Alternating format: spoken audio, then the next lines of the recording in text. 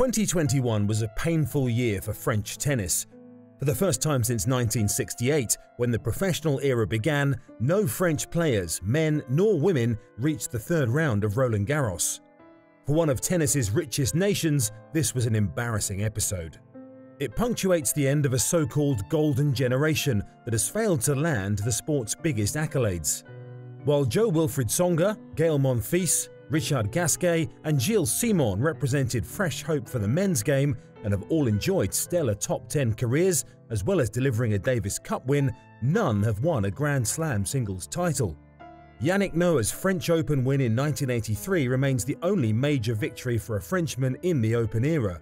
There have been more triumphs in the women's game, with five singles majors shared between Mary Pierce, Amelie Mauresmo and Marion Bartoli that there have only been two French Open singles champions from France in the past 54 years will be a source of disappointment for a proud tennis nation whose rich history boasts the likes of Suzanne Lenglen and the Four Musketeers.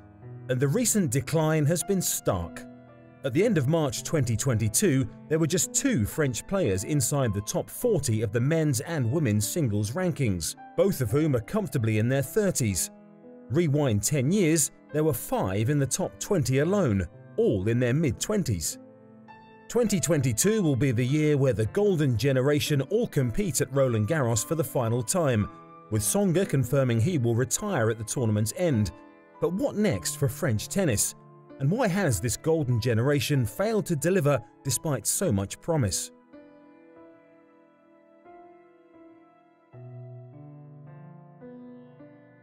Tsonga, an Australian Open finalist who peaked at world number 5, believes the narrative that he and his fellow Frenchmen have failed is unfair given the quality of opposition, namely Roger Federer, Rafael Nadal and Novak Djokovic.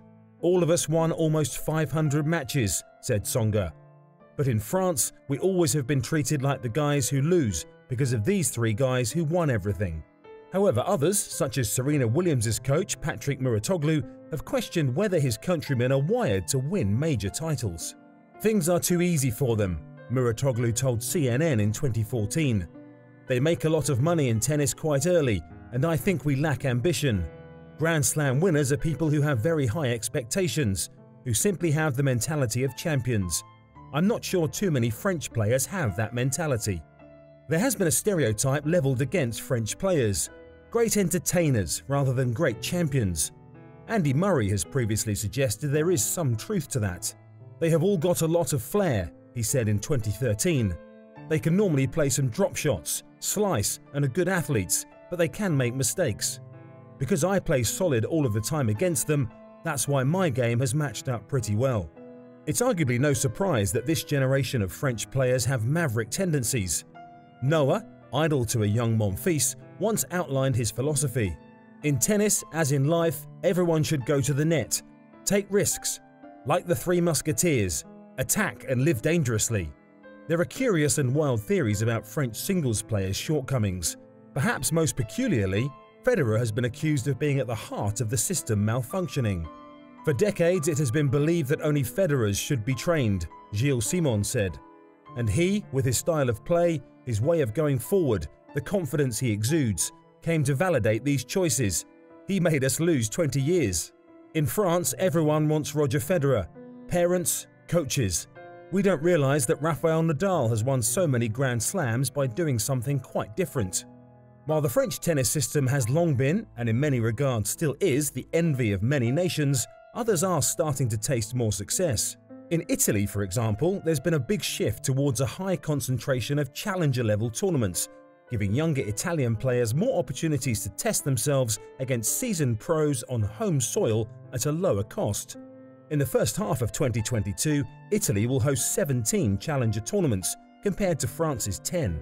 You don't have to travel too much, said Matteo Berrettini of Italy's approach. You can bring your physio, trainer, coach. I got a lot of wildcards, which was helping not just to earn points, but to earn experience. The French Tennis Federation, FFT, is hoping Louis Borfiga, a significant figure in Canada's remarkable rise to become a powerhouse nation, can also help turn their fate around. Borfiga told tennis majors, When I arrived in Canada, they were content with little, but we managed to change this state of mind by saying that no, there was no reason why they couldn't do it. In France, we have to banish this rumour that the French are mentally weak. This is not true. Despite the doom and gloom, of the 30 top ranked men and women under the age of 20 in world tennis, five of them are French, a higher number than any other nation. Gasquet, a two time Wimbledon semi finalist, believes his generation must provide support to help them reach their full potential. There are some very good players behind. We have to try to push them. We know that this is a difficult time for everyone. We have to try to help everyone so that there is a good generation that is coming up in French tennis. While there are glimpses of hope in the future, Monfils, now 35, is still convinced he can deliver a much coveted major title for the Golden Generation. All the time in my career, I never made the good decision, he said at the Australian Open. I'm fine with that, but I believe I can click once. Before I finish, I believe that once I will do it.